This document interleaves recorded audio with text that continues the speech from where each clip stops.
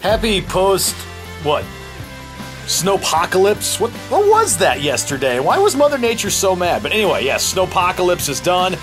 Uh, many of us are sore right now. I'm holding this camera with an arm that I can barely lift as we speak, but uh, nonetheless, hopefully you all made it through okay, and none of you were stranded, and that you were at home with loved ones, or at least locked up in a hotel somewhere safe, okay?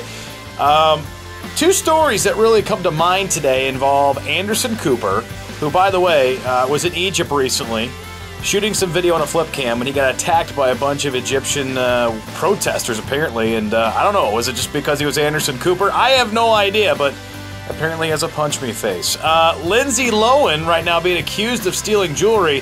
Her peeps are saying it's a misunderstanding. However, here's the deal if she is found guilty of theft, what does that mean for Lindsay?